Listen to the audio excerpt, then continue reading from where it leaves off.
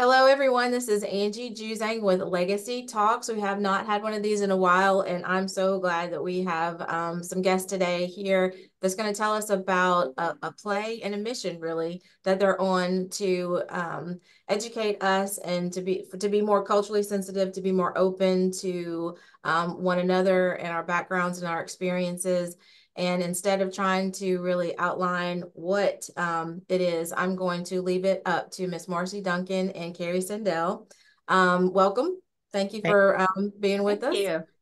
Um, I'm going to turn it over to Marci. Marci, go ahead and introduce yourself and tell us why we're why we're even talking today. All right, great. Thank you so much for having us. We are so happy to to be a part of the conversation. We always look for opportunities to be a part of a conversation. Uh, my name is Marci Duncan, and um, I'm an actor and playwright. I also teach acting at the University of West Florida, and I go around the country doing odd things like performance. So right now, I am on tour with um, my beloved play. Um, Kerry and I co-wrote this piece together, um, and it was born from a sense of curiosity, right? We were in the time of George Floyd and there was a lot of civil unrest happening and it was very unstable. It was very unstable. It felt very unstable. We didn't know what was happening. We didn't know what was happening. Um, and so one of my things that I do when I when I'm feeling this way, you know, of course I talk to my girlfriends, I talk to my friends, but I also find ways to be creative. So I was doing a show in Destin, Florida, and Kerry um, came to see the show. And after the show, she asked me if she could talk to me. And um, I was like, yeah, sure. So she pulled me over to the side and she said, you know, I've been thinking about you and I've been thinking about your son. You know, we have sons of the same age. And I've been thinking about the things that you're telling your son versus the things I'm telling my son. And I want to have a conversation with you about it. And also, I think we should write a play. And that was so striking to me. It was mm-hmm. so striking to me. It all it brings chills to me every time I think about it, quite honestly, because I had never had a white woman so directly come to me in a spirit of love and curiosity and ask me, how you doing? Let's talk about the elephant in the room. And so, needless to say, I went home immediately after that and I just was fired up and I started writing I started writing uh, in my little iPhone, honey. My husband was asleep on the side, and I was just, I was just going because I didn't, I didn't know I had all of these things to say. I mean, I think them, I talk about them to my girlfriends, you know, of color, but I didn't know I had all these things to say upon that question. And so that's just, that's kind of how this thing got going. And we spent time together writing. Um, it was on Zoom, and because our world was separated at that time because of COVID. And um, we met on Zoom and we talked. We had the real conversation. We asked each other questions, but we also set up very clear guidelines. We didn't know that at the time, but you know, hindsight is 2020. Mm-hmm. We set up very clear boundaries. We said, hey, one thing we know is that we love each other and this is out of love. So I know that I'm going to say some things that may hurt your feelings. And I know that you may say some things that may hurt my feelings, but that's not our intention. Our intention is to come together and understand one another. And we want to make sure we remember that we love one another. And that's how we started. And that's how we had the courage to keep going, even when uh, it was difficult to do so. That is wonderful. Thank you for that background. Kerry, tell me a little bit about yourself and and please integrate uh, what moved you to approach Marci that day. Sure. Um, I'm Kerry Sandell. I'm also an actor and writer. Um, met Marci at the University of West Florida. She, I actually was a student from one of her classes, and I work here at the university. And um, so, you know, going back to that time, um, my intent was just to truly understand and marci was on my heart a lot. She had a 19 20 year old son at the time. I had a 19 20 year old son. And so you know when we were in the midst of all this civil unrest and turmoil and after after George Floyd's murder and everything that was going on that we all experienced and I think in technicolor because the world was also in the process of being locked down. So you know mm-hmm. we had a front row view to just everything that was going on. Um you know I, I my intent was not hey let's do something let's create something amazing or you know um I what I did see was a lot of people on social media slapping a Facebook filter, you know, mm-hmm. and that was the extent of the conversation. Mm-hmm. And to me, that was super vapid and didn't really engage in a conversation and didn't really do anything. So I just wanted to to talk to her, see if she was doing okay, understand, you know, when I'm telling my son when he's going back to to the university in Central Florida, you know, it's be safe, pay attention, don't text and drive, don't speed, um, those are my conversations. And I know Marci was having different conversations with her son when he was getting back on the freeway. Um, so things like that. It was a mama to mama, woman to woman, yes, heart desire mm-hmm. um, to have the conversation. And you know, because we're theater artists and we're creatives, that is how we process. Is let's let's talk about it and let's let's write. Let's do something. Uh, we didn't know it would turn into this amazing play dissonance that you know from from its start a year and a half ago premiering at famu and then going across the panhandle of florida down into central florida two weeks in dc bronx in new york um, you know it's been so beautifully received because it does ask the question that doesn't get asked you know can we can i survive our friendship. And and the premise of play is these women have been friends for 20 years close friends for 20 years and avoided conversations about race. So can a white woman and a black woman have a candid conversation about race and the friendship survive? So throughout the the process of the play you see these women who love each other who are friends who are who are going into business together and have very eloquently avoided these difficult conversations throughout their relationship. And you see where they're where they divert and change the subject. But they come mm-hmm. to a point where where they need to discuss it as they're they're starting this business together. Um, and so the the play you see them having these difficult conversations and the reception whether it's been up in in the northeast or in the south has has been equally beautiful. People have received it from lots of different demographics and areas the same way because the play is born in a desire for unity you know and we're having we're having that conversation in in that desire we don't have an agenda of i want to win or or um you know just any agenda at all right. that can sometimes taint these conversations you know the the agenda is i want to see you and understand where you're coming from. You want to see me and understand where I'm coming from. I want to see you. That is that's so important what you just said because um, I think one of the most profound um, interactions that I had was with um, a coworker of mine who was white, um, and she called me crying and she said, "Hey, can you meet me?" And I said, "Sure." Um, and she had seen this meme of um, uh, basically, essentially, the, the the crux of it was that she had um, raised two women to not see color. Mm-hmm. and um, you know she she would she she thought that she was doing the right thing by mm-hmm. telling them not to treat anybody differently. And she said did i miss the boat? Did i misunderstand? Because the the meme was it's not that we want you to see us as the same. We want you to see our differences and embrace us mm. and understand our background and accept me for who I am and all of the intricacies and differences that that I have that my culture brings that my you know my my different experiences bring. And mm. I said certainly not. You know if anything you have an opportunity with your grandchildren but even the fact that she was enlightened um was important. And and so why dissonance why that name well, a lot of people um, ask that question, and you know, with entertainment, you want something that's going to grab somebody's attention, right?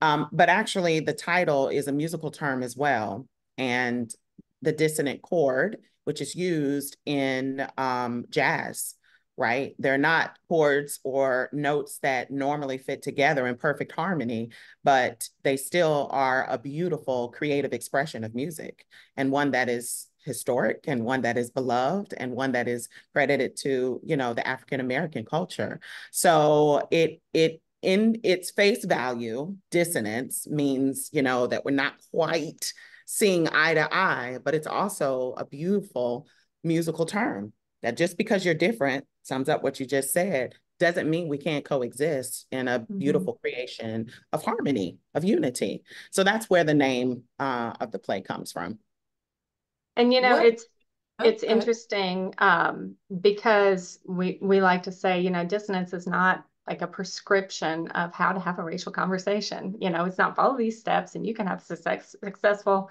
racial conversation but what it does is models in relationship with one another one way that it can be done. And mm-hmm. so, you know, it doesn't always work out, but it is a, a, beautiful way to show, you know, we can have these conversations. But like you were saying, the crux of it is the willingness to see mm-hmm. and the willingness to be seen. Mm-hmm. And starting at that point, then progress is made. Yeah. Mm-hmm. Uh, what do you want people to walk away with after seeing this play? Hope, hope, hope. Because everywhere you look, the picture is painted that it's impossible for people of different races to come together and coexist and respect one another and live in peace and harmony. And I can understand that. I mean, look at what is happening in the world. Look at all of the things that we're facing. But I believe that as as Martin, I'm down here doing a show about Martin Luther King, so I'm hearing his words all the time. I believe that love is the most ra radical weapon that we have. It's the most underused, powerful, radical weapon that we have. And if we can uh, get people to really start to look at love as an action to come together, I think we can change the world. And we really believe that. We really believe that. And we believe that there's an opportunity for more people to, to see this message and to understand it and to get it. And I also believe that there are more people in this world who want unity than people who don't. Mm-hmm. Of course, in the media and television and radio, we are always inundated with those who are, have no interest in it. So it sounds like the majority, but that is just not it. That is right. just not the case. Us taking this play here, there, everywhere, backwoods, all kind of places and seeing the people come out and seeing those people hungry for a solution for an answer for for another way. It is amazing. And so i think our mission is that of hope you know to spread the message that love is a powerful weapon. Fantastic. With that in mind um, I think there were a lot of people that wanted to be woke, right? Right after um uh, George Floyd's uh, murder, and and in the kind of the palpable energy that came from what was happening in the media it was it was it seeped into our workplace into our social settings you know do you talk about do you not talk about it you know so i, I mentioned to you that um uh, the co-founder set up listening sessions here and created an environment to where we were were you know we were teaching or trying hopefully teaching the you know the, the background of, of racism. Um, there was an uptick of you know diversity and inclusion uh, directors who were integrated into corporate worlds. People you know sought out um, counseling and such. But i heard a statistic recently that of the 85% that did that 45% have discontinued it. And then now mm. there's a little bit of a deaf ear. People are like oh that was then or you know i've deemed myself not to be anti-racist after the uptick of that consciousness and so now i don't even have to pay attention anymore. Um mm do you are you finding that people are turning away um a little bit more than what they would have to embrace this messaging two years ago? I don't find that. Um i do know that it is getting harder to get the message through the door. I do know that because especially in the state of Florida with all of the hoops that we have to to jump through with um um the seemingly attack on diversity efforts in the state of Florida. I'm going to just say it like that. Um, so it is getting harder to link with uh, university systems because they have to try to figure out ways to frame the work that they're trying to do. So I would say the resistance to uh, actual work is present. And I think I think it is more present. Mm-hmm. Uh, but actual reaction to the work, the actual experience of the work has not changed at all, which is interesting yeah. because the appetite is still there. It's just we have to go through so many more, um, so much more red tape in order to get the work in front of people, which is disappointing. It is disappointing. Yeah. Yeah. It's more of a, a bureaucratic mm-hmm. issue that because we, like I said, you know, I mean, it was interesting when we were in New York or we were in DC, one of the questions we would get and our talk back was, how's this received in the South? yeah. And, you know, as, as a, as Marci and I are both Florida born Southerners, mm-hmm. um, it was great to say it's been very well received in the South and it's mm-hmm. been very well received in areas that were a little more rural and predominantly white. So, so there is going back to that, you know, we want people to lead with hope because we're seeing that that's exactly what's happening. Yeah. Um, so the reception to the play has been beautiful. The struggle is getting people to see it. Yep. You know, getting too, getting in the door. The, I'm sorry, Kerry. I think one of the things too is um, you know, these two characters, they say the things that a lot of people want to say. Right. So when they are sitting in the audience and they are hearing these words, they see themselves. Because not only do I say what I want to say, Kerry says what she wants to say, and I should say our character names. Lauren says what she wants to say, and Angela says what she wants to say. And these conversations the dialogue in the play was not grabbed out of the out of the sky. They came from real dialogue, right? That Kerry and I had, that I've had in my life over time, trying to figure out this conundrum of, of black and white women relationships and, and why there was so mis so much mistrust there, right? Me trying to figure that out in my own life, right? So this dialogue comes from a very organic place and people can see themselves in that, right? You know, they may never have said it, but they sure have thought it, mm-hmm. right? And the other part about it is, too, is that you are rooting for these women. You are rooting from both of them. You want both of them to see each other because nobody wins here. There's no villain here. There's no, no, um, let's sock it to the white man. Yeah. Let's pay picture of the angry black woman. You know, we're not, we're not, we're not doing that, but we are addressing those issues head on, right? We're mm-hmm. saying the things that we we want to say because it's couched in love and we know that we're not going anywhere. We're not going anywhere. So how free, how free are yeah. you? You had to fight to get there in the play because yeah. Angela didn't always know that that was a safe space. She didn't know, which is yeah. why she was dancing around mm-hmm. the subject this whole relationship. Mm-hmm. And so once we get to that place in the play where they both agree, we ain't going nowhere. I love we it. this out. And I love it. I love it. I mean, I, I think, um, you know, obviously some things that you've already talked about have resonated with me. Um, particularly, I have I have a 29 year old, and so uh, several years ago, I was uh, asked to speak at Leadership Gulf Coast, which is a program under the Coast Chamber, um, and it was called Diversity Day at the time, and that seemed seemed to actually split people instead of a perception. So anyway, we, we renamed it Culture and Her Heritage Day.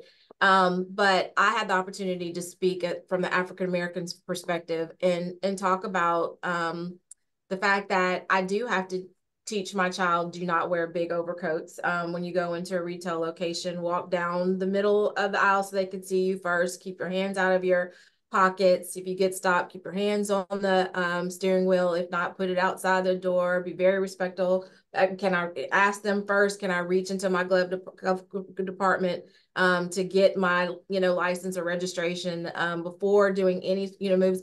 And so when I had white women come back to me and said, I've never thought about that. I've yeah. never had to tell my child that. So the, the fact that y'all started off with that story and I've had that personally happen to me is is just incredible. But the, also what I can't wait to see with the play is how you go about navigating the conversation without having to take care of the white woman, you know, um, uh, and Lauren, you know, and I'm sorry, but you know, no, usually it's in the play. Like, it's all good. It's yeah, like y'all, y'all it is victim, you know, that, you know, we, we've been living this and then because you have this consciousness and, you know, mm-hmm. then we have to, you know, I, I don't know if y'all watched the, I'm going on a tangent now and then, uh, but, but um, the Belle Collective, I've just now gotten into that reality show. And there was a situation where you know a white woman was in um, a brunch setting and they were talking about white folks in general and history. And she was like we don't do that and my people don't do that. But yet she was a great great great granddaughter of jefferson davis you know?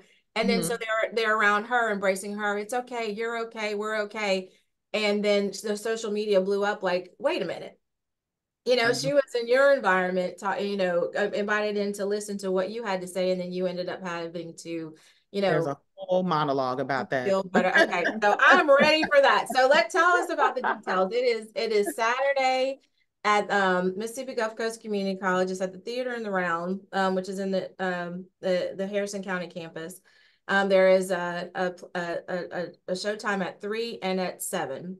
Um, and I this this video is going to be attached to an event that'll have the link to to buy the tickets. Mm-hmm. Um, and I hope that we continue to build a relationship with one another and that we are able to get this um, this very important messaging out um, because we, we do want to continue to, um, to grow. Is yeah. there anything that you want to leave us with in the last minute? Um, well, the, we, there's two performances of the show Saturday. There's a three o'clock and a seven o'clock. The three o'clock show afterwards, we have a talk back, mm-hmm. which is a, a, a to us a very integral and important part of the play because it gives you a chance to digest mm-hmm. what you've just seen and to to talk through some of that. So we we when very you say much talk back, what do you what do you mean? What what do you mean? Just that that that we open it up to the audience and we just start talk literally talk back we do we talk about we talk about the process we talk about some of the origin of the play they can ask specific questions about the play um, and and so we it gives people an opportunity to kind of digest what they've just seen um, and they can ask about the creative process and things like that. Yeah, and our director usually uh, moderates that conversation. It's, it's not a race conversation because we're not sure that we have all the components that we need in the room for that kind of a thing. So he makes sure he makes sure that he crafts the conversation so that we are uh, talking about the elements that are necessary to have a conversation with someone who is not of your same race. And uh, the way he frames it is is quite genius, and and we get some good conversation out of it. That's wonderful. Mm-hmm. Okay, well, thank you so much. I, I do appreciate you um, for even bringing it, this to our community, and I hope that we um, will be able to to see you again. Um, yes. And I'm going to do what I can to help promote it between now and then. well, I appreciate it. We appreciate you. Thank you so much. Absolutely. Thank you so much.